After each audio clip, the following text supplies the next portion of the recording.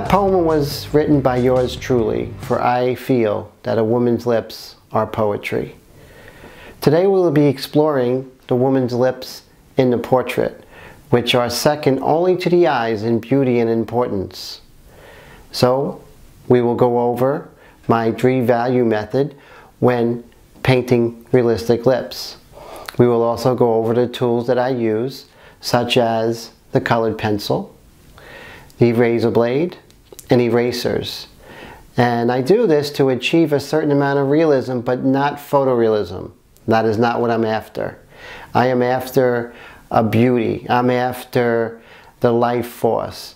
How to paint the lips and the eyes and the nose and the hair as one whole unit. I do not go all the way into detail first, but bring everything up together. Today we'll be going over how I develop the lips and not go too far ahead of other aspects of the portrait. So, let's get started. You'll see right now I'm using the eraser to smooth out any areas that are too harsh, maybe help uh, soften some dark edges. I like the eraser because it's uh, it's abrasive yet it doesn't damage the surface. And then once I go ahead and finish with the eraser, I'll go soften it up with the airbrush. And now once again, I'm going to be using something to scratch the surface and this time it's going to be the razor blade itself. Now I'm going to establish some highlights but um, this stage I'm actually going to soften them up and then come back again. The most important thing I feel when painting the lips is to make them soft. No harsh lights and darks. That is crucial to me, I feel. And with my three value method of the lips, you'll notice that I have a light, a mid-tone, and a dark. Now this is not including the darkest dark or the dark accents or the very light accents, which are the highlights. And you'll see as I go further, when I add those elements, how this uh, painting and the lips in particular are going to start to pop.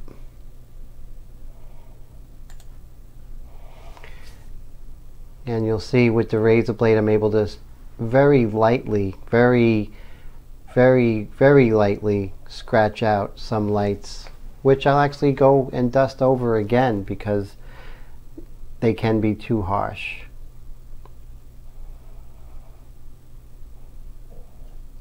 And you'll see I'm creating some texture as well with those lips, following the form of the lips. Here, the introduction of the colored pencils where the upper and lower lips meet I'll go ahead and put some red accents and maybe echo some of that red color in the bottom lip. When you echo color and value throughout elements of the portrait, the painting begins to have continuity. And I have this lighter color, this lighter pink, just to soften up some of those hard edges that were created by the razor blades when I was scratching out the highlights. And I'm going to dust over this again uh, with the airbrush. And you see I have this sort of burnt umber, this brown color that I use to even further create some accents where the upper and lower lips meet. Now I have this almost navy color, this navy blue color, and you see I put that for the darkest accents, but not leaving that as it is, that navy color, but going over it with this scarlet red. Any kind of dark, almost black color in the portrait just doesn't work. You definitely have to glaze over it with red as you see especially in this nostril here. When you glaze over it with the red, becomes translucent and has the feeling of flesh. And you can see here, going back again over it with the airbrush to soften some of those hard edges created by the eraser, the razor blade, and the colored pencil. Also making sure that I follow the contours with the lips still to create that sense of volume, three-dimensional feel for it. Now I had that really nice red color. I was able to echo that in the transition tone where the darkest darks and the bridge of the nose meet. And you want to do that once again. You want to echo colors and values throughout the portrait to create a sense of unity. Now we're going to go ahead and scratch out the highlights. And I'm doing that with the X-Acto knife.